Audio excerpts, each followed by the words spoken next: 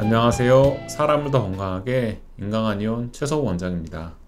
출산 후에 몸이 틀어지고 목, 어깨, 허리 등이 관절이 아프다고 내원하시는 산부분들이 종종 계십니다.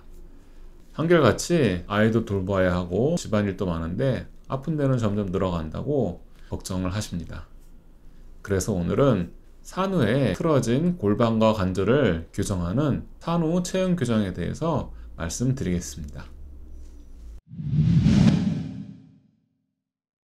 우선 출산 전후의 척추와 관절의 상태에 대해서 잠깐 설명드리겠습니다. 임산부는 출산에 가까워질수록 릴렉신이라는 호르몬의 분비로 인해서 여러 뼈로 이루어진 골반이 벌어지게 됩니다. 릴렉신은 난수와 태반에서 생산돼서 분비되는 호르몬으로 출산에 대비하여서 골반의 인대를 이완시키고 자궁의 경부를 부드럽게 합니다.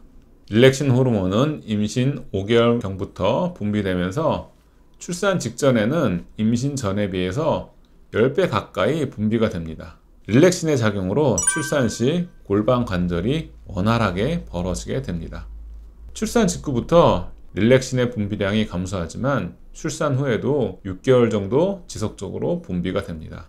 그리고 지속적으로 인대를 이완시켜서 골반과 관절을 쉽게 어긋나게 하면서 통증에 대해서 취약성을 증가시킵니다. 이로 인해서 출산 후 자궁 수축과 더불어서 골반이 제자리를 찾아가는 과정에서 산후 조리가 잘못되면 골반이 틀어지게 됩니다. 특히 치골결합과 첨골, 장골 관절이 벌어졌다가 완전하게 제자리로 돌아오지 못하고 어긋나게 되면 골반이 틀어지게 됩니다. 또 골반 관절이 완전히 유합되지 않으면 고관절에도 영향을 미치게 되는데 고관절이 불안정해지면 보행에 문제가 생깁니다. 한쪽 다리가 끌리는 기분이 들기도 하고 걸을 때 좌우로 기우뚱하는 느낌이 들면서 걷는 것이 부자연스럽고 걷고 나면 발목, 무릎, 고관절로 이어지는 통증이 생길 수가 있습니다. 따라서 출산 후에 무릎과 발목이 아프다면 골반 교정에서부터 치료를 시작해야 합니다. 출산 후 척추의 문제는 골반과 고관절뿐만 아니라 상체 쪽에도 생기기가 쉽습니다. 산모는 육아와 수유로 인해서 목과 등이 구분 자세로 오래 유지하게 됩니다.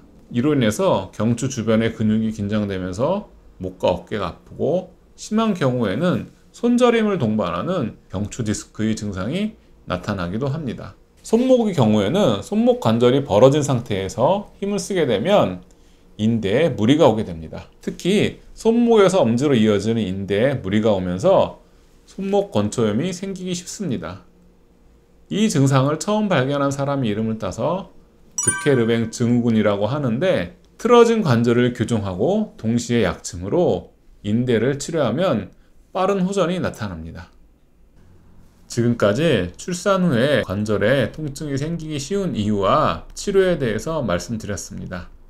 다시 한번 정리해서 말씀드리면 출산의 과정을 거치면서 틀어졌던 관절이 제자리를 찾지 못하면 관절의 통증이 원인이 됩니다. 이를 추나 요법을 통한 교정과 약침을 통해서 원래의 몸으로 회복할 수 있습니다.